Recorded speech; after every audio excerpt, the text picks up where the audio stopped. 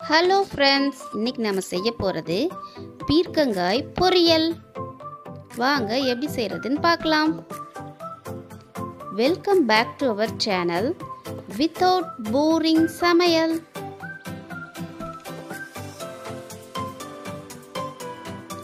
நான் ஒரு பெரிய பீர்க்கங்காய் எடுத்து தோலெல்லாம் சீவிட்டு இந்த மாதிரி சின்ன சின்ன பீஸாக கட் பண்ணி வச்சுருக்கேன். ஒரு மிக்சி ஜாரில் கால் கப் தேங்காய் ரெண்டு காஞ்ச மிளகா சேர்த்து ஒரு அரை ஸ்பூன் ஜீரகம் சேர்த்து குறகுறப்பாக இந்த மாதிரி அரைச்சி எடுத்து வச்சுக்கலாம். இப்போ ஒரு பேன் அடுப்பில் வச்சு அதில் ரெண்டு ஸ்பூன் ஆயில் சேர்த்துக்கலாம். ஆயில் நல்லா சூடாகட்டும். இதில் அரை ஸ்பூன் கடுகு உளுந்தம்பருப்பு ரெண்டு ஸ்பூன் கடலைப்பருப்பு சேர்த்துக்கலாம். சேர்த்துட்டு நல்லா பொரிய விடலாம்.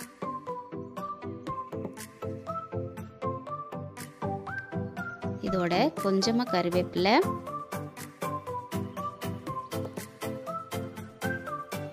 முழுசாக கட் பண்ணி வச்சிருக்கிற வெங்காயம். சேர்த்து நல்லா வதக்கி விடலாம். பீர்க்கங்காய் பிடிக்காதவங்க கூட இந்த மாதிரி செஞ்சு கொடுத்தா ரொம்ப விரும்பி சாப்பிடுவாங்க. இதோட ஒரு காஞ்ச மிளகா சேர்த்துக்கலாம். கால் ஸ்பூன் பெருங்காயத்தூள் அரை ஸ்பூன் மஞ்சள் தூள் சேர்த்து வதக்கி விட்டுக்கலாம். இப்போ கட் பண்ணி கழுவி வச்சிருக்கிற பீக்கங்காய்களை இதில் சேர்த்துக்கலாம்.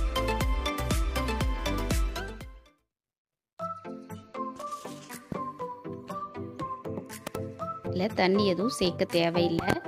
இதுவே தண்ணி விடும். அதனால் எல்லா காயும் இதில் சேர்த்துட்டு தேவையான அளவு உப்பு சேர்த்து நல்லா வதக்கி விடலாம்.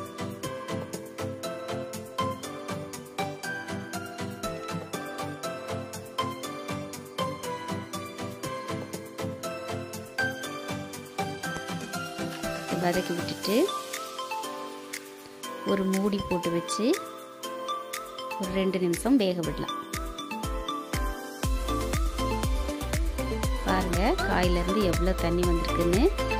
இந்த தண்ணியெல்லாம் வத்துற அளவுக்கு வேக வச்சா போதுமானதாக இருக்கும். இந்த மாதிரி கிளறி விட்டு மறுபடியும் மூடி போட்டு வச்சிங்கன்னா பாருங்கள் காய் தண்ணியெல்லாம் வற்றி சூப்பராக வெந்து வந்துருச்சு. இதோட அரைச்சி வச்சிருக்கிற தேங்காய் ஜீரகம் காஞ்ச மிளகா பேஸ்ட்டை இதில் சேர்த்துக்கலாம். சேர்த்துட்டு நல்லா வதக்கி விடலாம். இந்த பொரியல் எல்லா வகையான குழம்புங்களுக்கும் ரச சாதத்தோடையும் சாப்பிட்றதுக்கு ரொம்ப டேஸ்டாக இருக்கும்.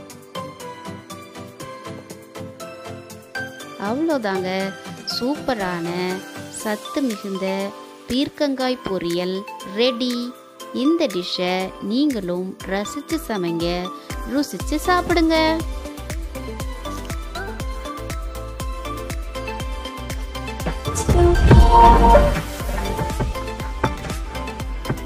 Awesome.